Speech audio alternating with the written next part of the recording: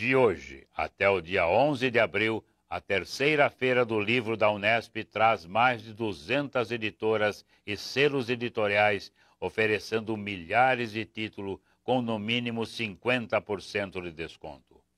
Devido à pandemia, neste ano a edição será totalmente digital.